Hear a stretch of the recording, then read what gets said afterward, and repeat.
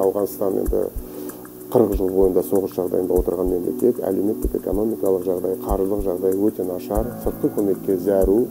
Бұған дейін осы жүктің жауапкершіліктің бірталайын сол америка бастаған коалиция көтеріп келген болатын.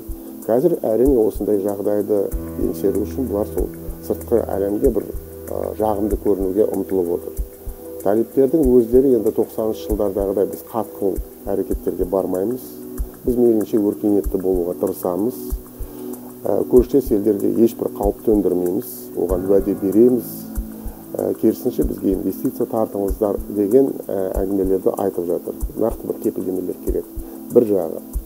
Ондай кепілдемелерді қазір көршілес мемлекеттер талап етіп отыр. Орталық азияда оның ішінде қазақстан бар қытай бар көршілес иран бар ресей бар.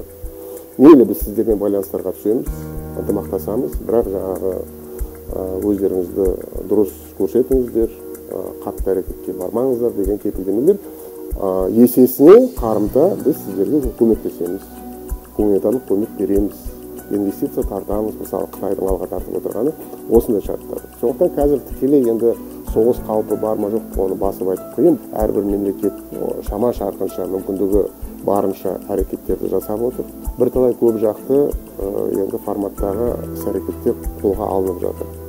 Орталық азияның басшылары бірнеше мәрте кездесті. Ашғабадта ташкентте тиісті ұжымдық қауіпсіздік шараларын қарастырды. Онымен қатар шанхай ынтымақтастық ұйымы деген ұйым бар оған қытай ресей енетін қорғаныс мәселелерін қолға алу террорлық әрекеттерге қарсы бір қамдану сияқты мәселелер. Дипломатиялық кейбір мәселелер жүріп жатыр. Ресей ә, сыртқы істер министрлігі қытайдың сыртқы істер министрлігі талибанды қазір мойындап солармен әрекеттерін жүргізіп жатыр. Енді мойындағанда талибан мемлекетінің қазір билігін мойындап отырған жоқ бірақ байланыстарға түсіп отыр. Өзбекстан тарапы енді орталық азияға оралатын болсақ осындай әрекеттерді жүргізіп отыр. Өзара қауіпсіздік тұрақтылықтың кепілдемелері. Талибан ресми түрде террорлық ұйым саналғанымен соған қарамастан енді санасу керек қалай болғанда да ұнасын ұнамасын. Арадағы мәселелерді бейбіт өркениеттермен шешу керек.